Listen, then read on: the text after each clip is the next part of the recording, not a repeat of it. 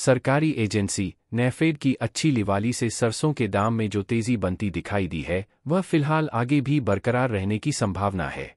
हालाँकि उद्योग, व्यापार संगठनों ने रबी तिलहन तेल सेमिनार में 121 लाख टन सरसों के उत्पादन का अनुमान लगाया था, लेकिन अब कुछ जानकार यह मानकर चल रहे हैं कि वास्तविक उत्पादन इससे करीब पाँच लाख टन कम हुआ है, क्योंकि कुछ क्षेत्रों में सरसों की प्रति हेक्टेयर उपलब्धता उम्मीद से नीचे देखने को मिल रही है।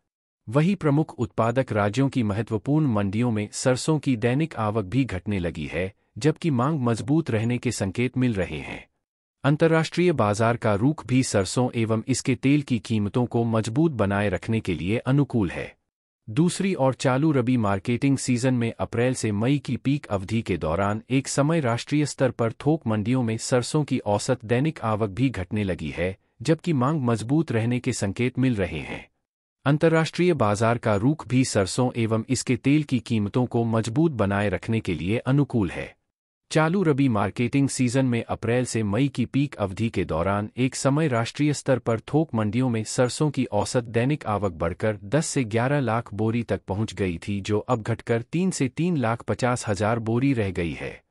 इससे संकेत मिलता है कि या तो किसानों के पास स्टॉक तेज़ी से घटता जा रहा है या वे वर्तमान मूल्य स्तर पर भी अपना माल जल्दी जल्दी बेचने के इच्छुक नहीं है। ऐसा प्रतीत होता है कि छोटे एवं मध्यम श्रेणी के किसान अपनी सरसों के स्टॉक का बड़ा भाग पहले ही बेच चुके हैं, और अब बड़े बड़े उत्पादकों के पास माल का अच्छा खासा स्टॉक मौजूद है, जो इसे धीरे धीरे बेचने का प्रयास कर सकते हैं।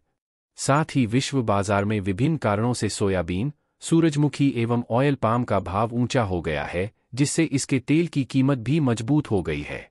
भारत में इसकी पहुँच का खर्च बढ़ गया है। कुछ समय तक बाज़ार ऊँचा रह सकता है। राजस्थान के प्रमुख उत्पादक क्षेत्रों में सरसों की आवक अपने पीक स्तर के मुकाबले अब करीब 40 से 45 प्रतिशत घट गई है। इसके फलस्वरूप जयपुर में 42 प्रतिशत कंडीशन वाली सरसों का भाव मई के आरंभ में प्रचलित मूल्य 5,300 से 5,325 रुपये प्रति क्विंटल से उछलकर अब 6,140 से 6,150 रुपये प्रति क्विंटल पर पहुँच गया है। इसी तरह सरसों तेल का दाम भी अट्ठानवे से निन्यानवे रुपये प्रति किलो से बढ़कर 117 से 118 रुपये प्रति किलो हो गया है। Bureau report Market Times TV.